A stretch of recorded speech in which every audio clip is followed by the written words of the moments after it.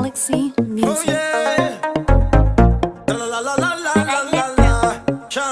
A la garrapata de potrero se le calentaron los besayes. Pa' que aprenda de una vez y se calle. Tú no te quieres un cartón de huevo, en tu cara todo se te trae. Tú no respetas lo que pasa en la calle.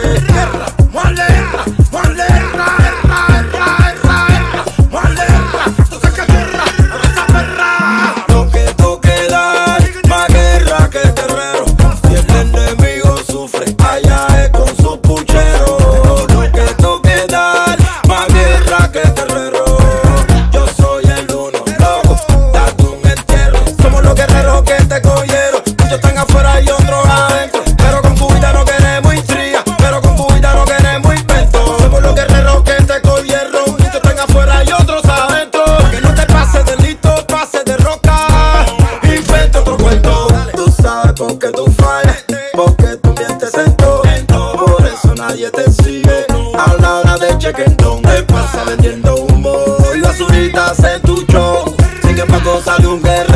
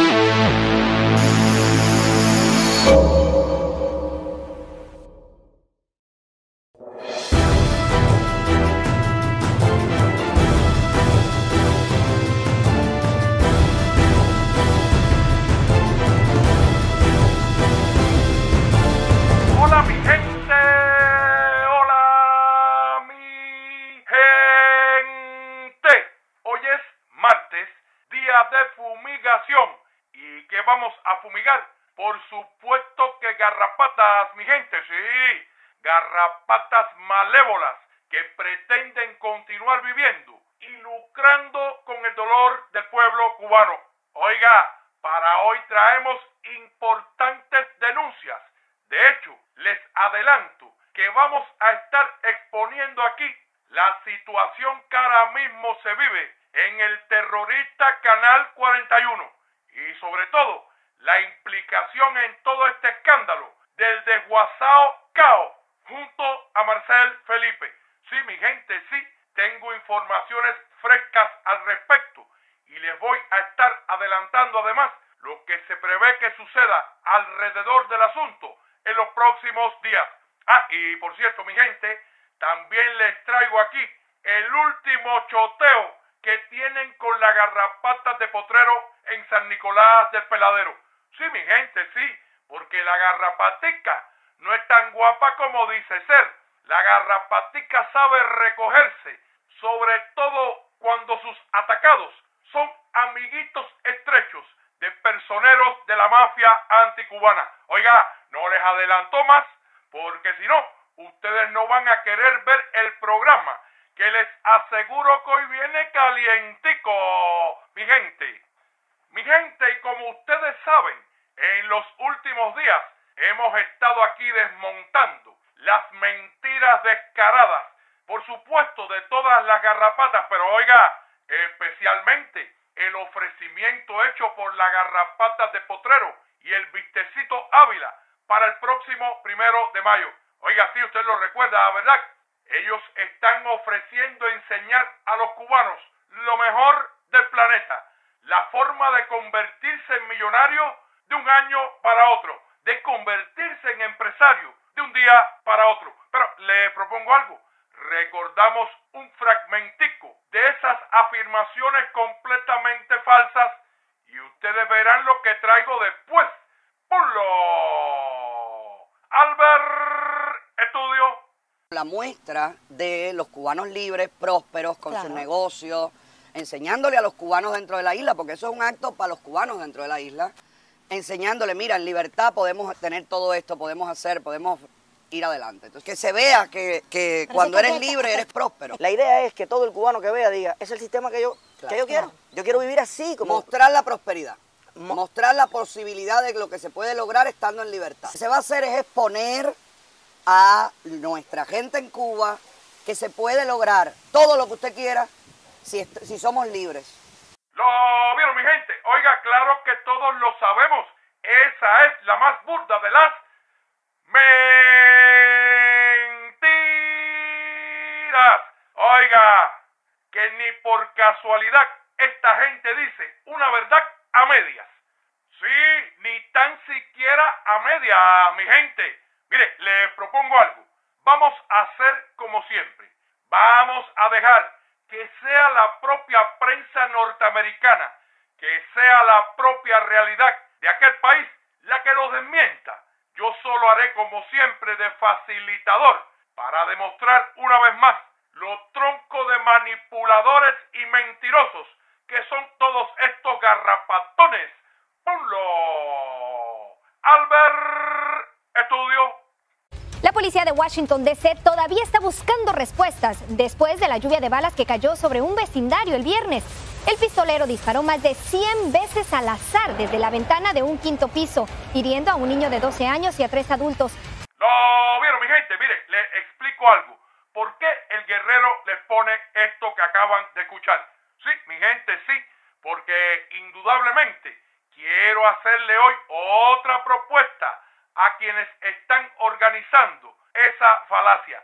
Mire, yo creo que ellos podían llevar a alguno de esos emprendedores que ellos llaman están en libertad. Sí, para que muestren allí, por ejemplo, los chalecos antibalas y escudos antibalas que están haciendo para que las personas usen en la calle y los niños incluso usen en sus escuelas. Sí, mi gente, sí, ustedes lo acaban de ver. Oiga, esa noticia que les puse se refiere al tiroteo del fin de semana en Washington, D.C. Usted lo escuchó, ¿verdad? Todavía la policía no ha encontrado la respuesta para esa lluvia de balas que cayó sobre un vecindario. Oiga, el victimario disparó más de 100 veces al azar desde esa ventana que usted ve en las imágenes, desde un quinto piso, y como todos sabemos, hirió a un niño y tres adultos. Pero usted vio las imágenes, usted vio los fusiles de alto calibre que estaba usando ese tipo, usted vio cómo hasta filmó lo que hacía.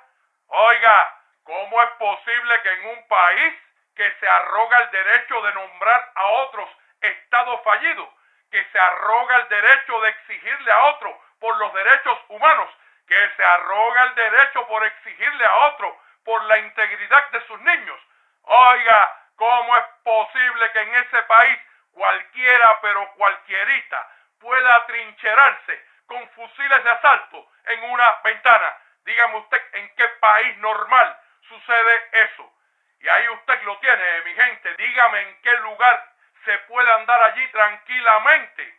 Ni siquiera pararse en la puerta de la casa o cerca de una ventana. Porque imagínese usted que de un momento a otro un loco se para en la ventana en un quinto piso y empieza a disparar con ametralladoras. Dígame usted qué país normal es ese. Dígame usted si se justifica o no que esos emprendedores en libertad lleven algo que pueda proteger a las personas. Mire, también pudieran llevar allí alguna empresa que se dedique a la fabricación de ventanas antiimpacto. Ah, y no me refiero a las que instalan para los huracanes, no, me refiero a ventanas antiimpacto que tengan protección contra los altos calibres que están empleando los tiradores en aquel país. Bueno, pero guerrero, esto fue en Washington, quizás allí en San Nicolás del Peladero, donde ellos quieren hacer esa feria tan portentosa. No ocurren estas cosas. Les propongo algo, mi gente. Vamos a ver cómo han amanecido estos últimos días en San Nicolás del Peladero. Ponlo. Albert Estudio. Y comenzamos con esta noticia en desarrollo. Un tiroteo dejó a una persona muerta en el suroeste del condado Miami-Dade. La familia de la víctima señaló que él se encontraba trabajando cuando le dispararon ya que era cerrajero y lo podrían llamar a cualquier hora del día. Sí, usted lo escuchó bien, efectivamente. Continúan las muertes por balaceras precisamente allí en Miami. Oiga, dígame usted si esta gente logran crear negocios para hacer chalecos, escudos antibalas para los residentes en esa ciudad. Dígame usted si no va a ser muy próspero ante la gravísima situación que allí se vive. No, y vea usted, ayer también fue baleado otro hombre en una barbería como refrenda el nuevo Herald. Oiga, aquello es una desgracia por donde quiera, pero eso sí, usted no escucha a las garrapatas hablar de esto. No, no, no. Lo de las garrapatas es tratar de vender el supuesto paraíso en la tierra. Es tratar de engañar. Y por supuesto, es continuar incitando a la salida ilegal de cubanos desde Cuba, ofreciéndoles precisamente ese supuesto paraíso terrenal, mientras esconden sus incitaciones detrás de un supuesto discurso en contra de esa emigración ilegal. Aquí lo tienen, mi gente, completamente al desnudo, toda esa banda de auras tiñosas odiadoras. Oiga, por mentirosos y manipuladores es que andan como andan. Ustedes verán en el último segmento de este programa toda la información que les voy a dar sobre lo que están haciendo ahora mismo para tratar de redimensionar sus fracasados planes, buscando boicotear y sabotear las celebraciones por el primero de mayo en Cuba. Pero eso, mi gente, eso es más adelante, porque ahora mismo yo quiero que ustedes escuchen apenas un ejemplo de cómo ayer los canaluchos terroristas del sur de la Florida Ah, y que por cierto, con respecto al 41, recuerde usted que le voy a estar dando más adelante importantes informaciones. Pero ahora yo quiero que ustedes escuchen cómo ayer mentían descaradamente y se contradecían ellos mismos con respecto a la información que dio nuestro canciller Bruno Rodríguez. Escuchen esto, mi gente, y díganme si es o no un insulto al intelecto de las personas que se bajan esa basofia de contenido. Ponlo. Albert Estudio. Hoy le volvió a decir a Estados Unidos, ¿dónde están las 20.000 visas de inmigración? ¿Pero quién dijo que es obligatorio? Hoy le volvió a decir a Estados Unidos, ¿dónde están las 20.000 visas de inmigración?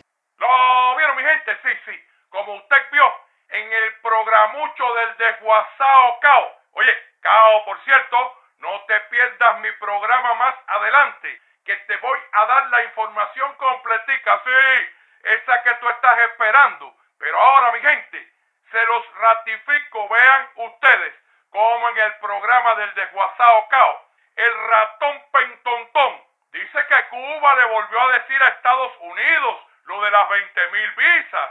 Y dice el desguazado que quien dijo que eso es obligatorio. Bien, yo quiero que ahora ustedes vean, ayer mismo en la tarde, apenas pocas horas antes de este programa, como el ratón Pentontón decía exactamente lo contrario. Claro que sí, mi gente, así son todos mitómanos compulsivos, bipolares de oficio. Pero escuchemos, mi gente, escuchemos lo que estuvo diciendo anoche con el desguazado. Ponlo, Albert Estudio.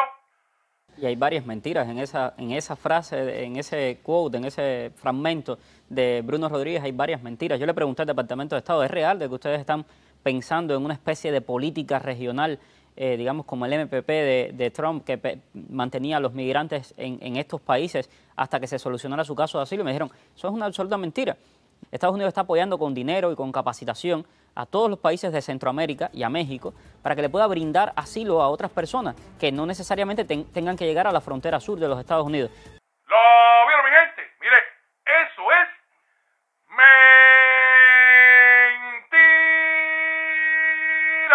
Escúchenlo ahora, apenas dos o tres horas antes, lo que reconoció. Dígame usted si se burlan o no descaradamente del poco público que aún los sigue. Ponlo, Albert Estudio. Eh, el, canciller eh, Bruno Rodríguez Parrilla tiene razón. Eh, el, canciller Bruno Rodríguez Parrilla tiene razón, porque efectivamente Estados Unidos está presionando a estos países para que eviten la inmigración desordenada e ilegal por sus fronteras, lo está haciendo. Yo estuve en Panamá y me lo confirmaron fuentes del gobierno de Panamá, oficiales del gobierno panameño, me dijeron, esto, mira, no te lo vamos a decir on the record, no te lo vamos a decir en cámara porque son conversaciones y cosas internas, pero efectivamente el gobierno de los Estados Unidos ha pedido a Panamá que frene la migración masiva a través eh, de este país y por eso se impuso esta eh, visa de tránsito. Lo mismo pasó en Colombia, lo mismo pasó en Costa Rica eh, y bueno, es parte de la política de los Estados Unidos ¿Lo vieron, mi gente? Oiga, son o no son unos desaguacatados estos punticos ricos para gozar. ¿Usted lo escuchó? Apenas dos o tres horas antes, él hasta defendía la intervención de nuestro canciller. Decía que Bruno tiene razón. Reconoció que efectivamente Estados Unidos está presionando a países latinoamericanos para que eviten la emigración de cubanos reconoce, usted lo escuchó, que él estuvo precisamente en Panamá. Vea usted la coincidencia de lo que dice el ratón Pentontón con las denuncias que en su momento preciso estuvimos haciendo aquí. Vio como dice que le dijeron allí miembros de aquel gobierno que no le podían decir nada en cámara, pero que efectivamente el gobierno de Estados Unidos estaba presionando a Panamá para que evitara el paso de los cubanos por allí, es exactamente como se lo dijo el guerrero hace muchísimos días, o no es así, es diametralmente opuesto a lo que estuvo hablando por la noche con el desguazado, o no es diametralmente opuesto, son todos unos caras de tabla mentirosos, o no son todos unos caras de tabla mentirosos. Oiga, pero usted quiere que yo le ponga otra prueba del descaro de esta gente, de cómo van precipicio abajo y de cómo, repito, se burlan del poco público que lo sigue. Yo les voy a poner a ustedes a continuación otra fake news que también el ratón Pentontón estuvo promocionando ayer. Oiga, no se preocupe que esto viene con toditas, toditas las pruebas. Eso sí, le recuerdo algo. Hace también muchos días denuncié aquí los planes de recircular videos para tratar de confundir a los cubanos de cara al primero de mayo.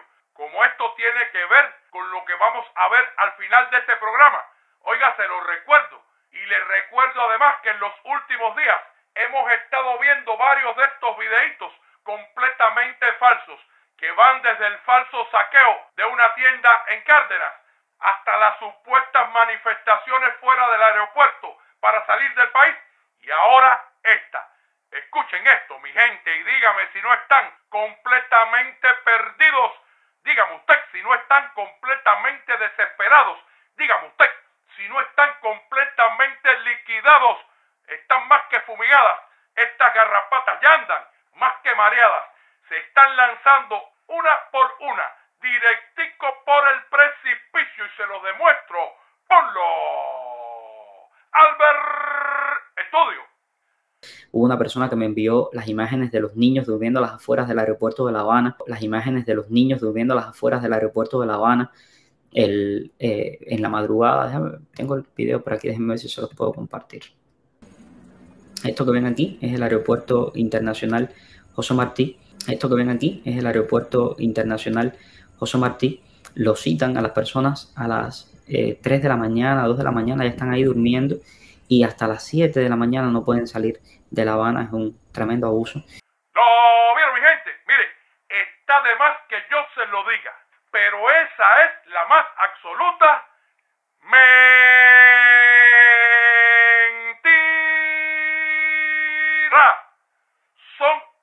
Farsantes de marca mayor. Mi gente, ese video que ustedes acaban de ver de supuestos niños durmiendo en las afueras del aeropuerto de La Habana, video en el que como usted vio no se ve niño alguno. Ese video que él asegura es del aeropuerto internacional José Martí, de personas que citan a las 2 de la mañana y están durmiendo allí. Y eso que él llama tremendo abuso es una cochina mentira. Mire, le voy a dar los argumentos, ¿eh?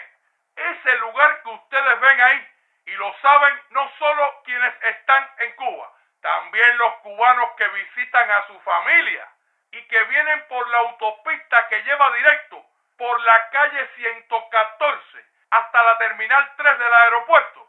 Oiga, quienes han venido por ahí saben bien que esas imágenes que está poniendo el ratón pentontón para nada son del aeropuerto.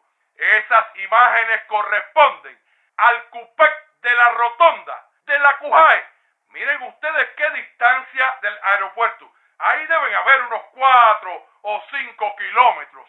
Y este mitómano compulsivo le suelta a su público que esa gente están sufriendo en el aeropuerto. Repito, gente invisible que no se ven en el video. Y un video que él asegura corresponde al aeropuerto y está bastante lejano del lugar. Oiga, yo se lo repito, Dígame usted si esta gente profesan el más mínimo de los respetos hacia el público que se supone que lo sigue.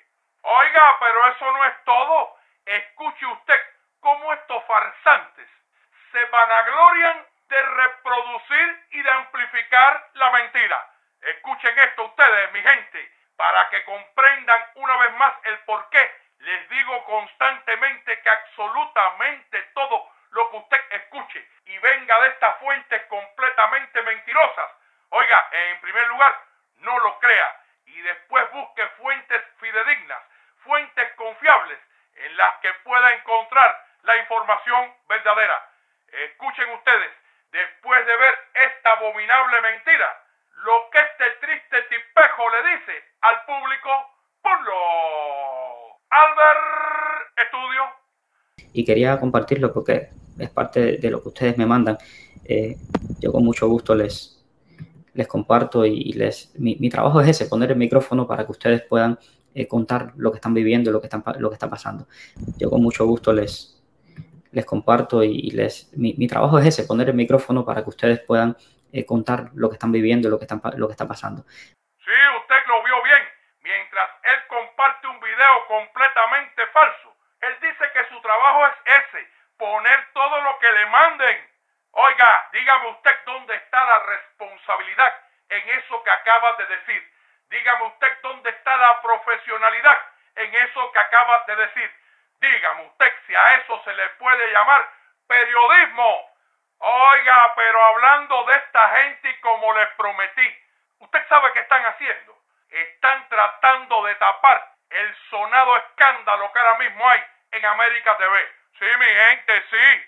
Marcel Felipe y su fiel escudero Juan Manuel Cao, estos que son inseparables, que son uña y carne, están metidos en tremenda candela. Mire, Juan Manuel Cao responde verticalmente a Marcel Felipe.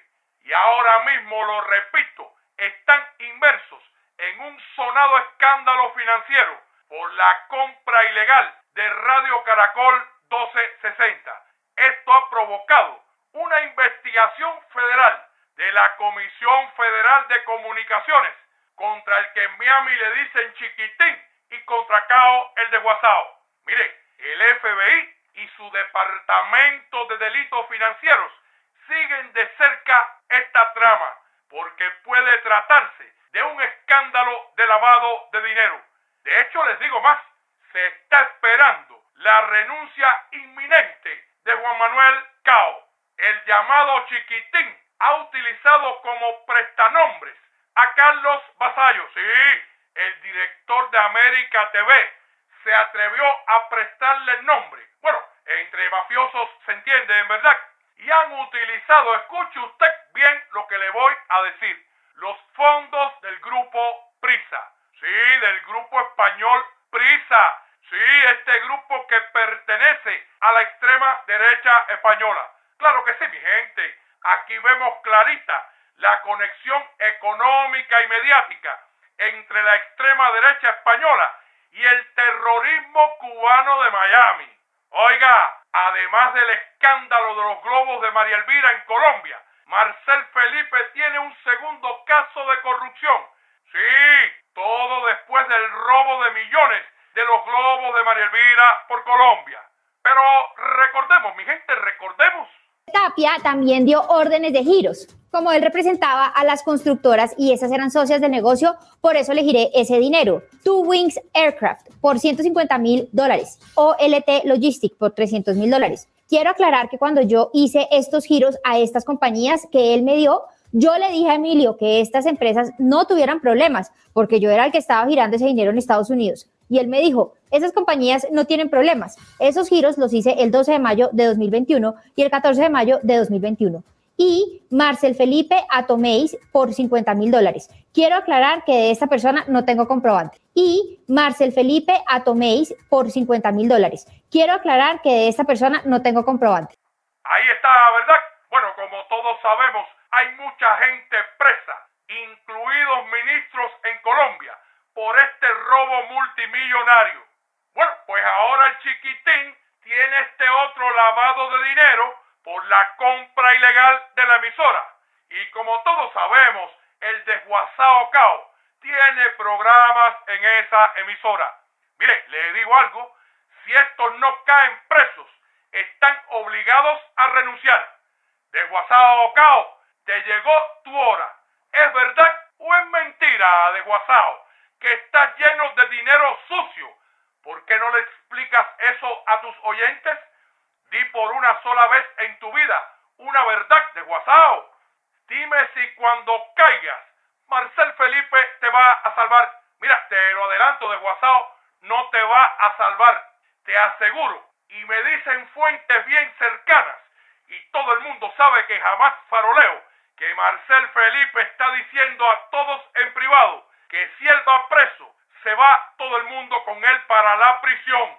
Si él dice que si llegara el caso, va a decir cuántos están cogiendo dinero en este asunto. Y asegura Marcel que hay mucha gente cogiendo dinero.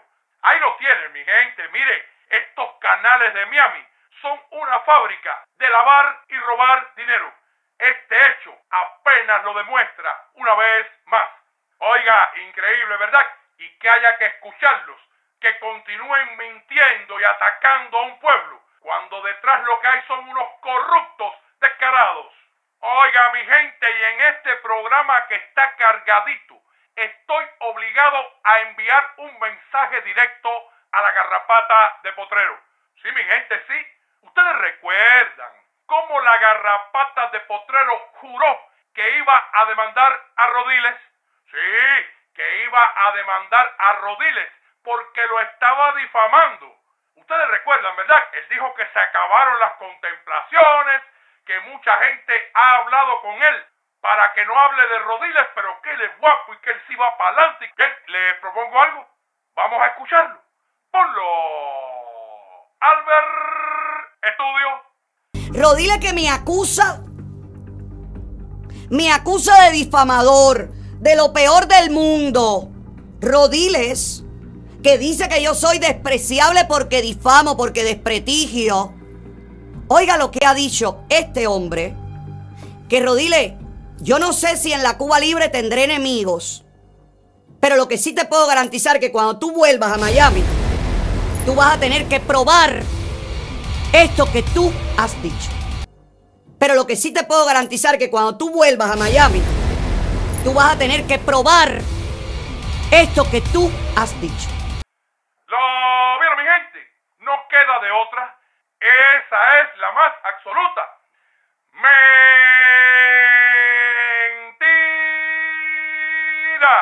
¿Y quién demuestra que esta es efectivamente una mentira absoluta? Pues la propia garrapata de potrero. Mire, le digo algo. Rodiles ahora mismo lleva un tiempecito en Miami.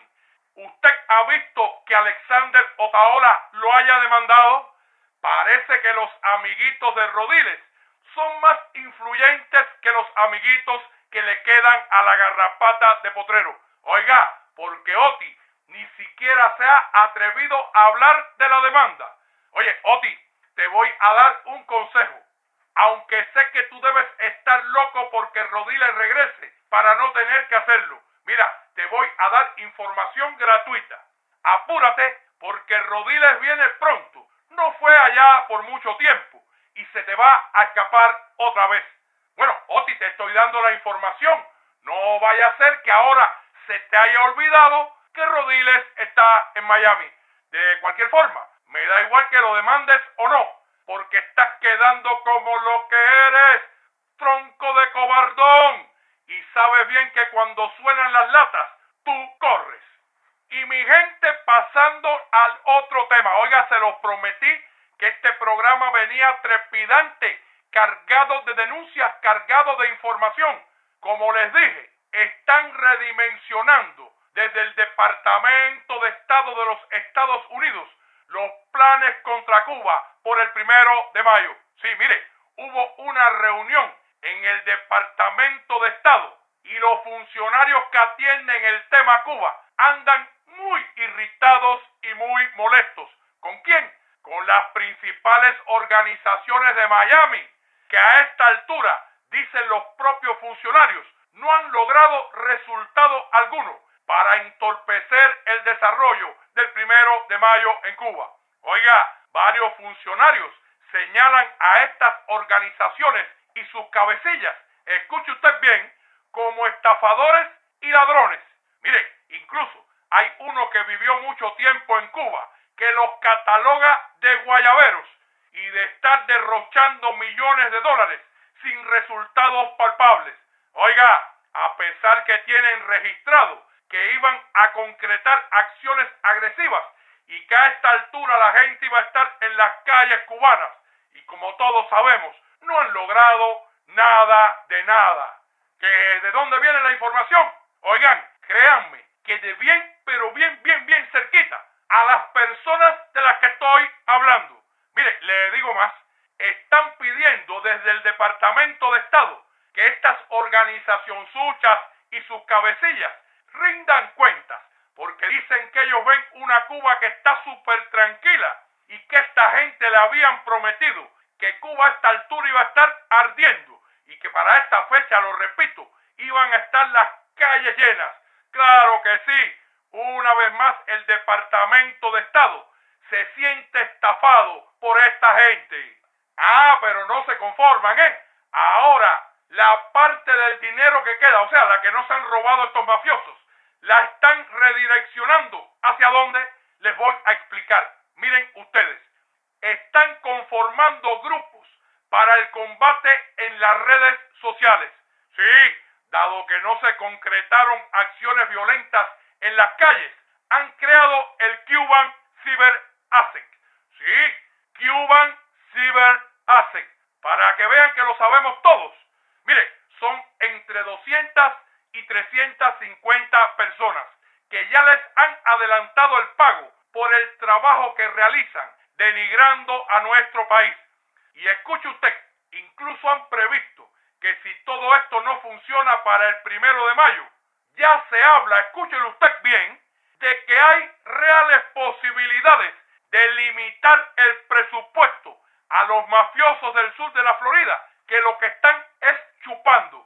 Le estoy hablando nuevamente de asuntos que han sido tratados en el Departamento de Estado y se los estoy refiriendo tal y cual lo han dicho.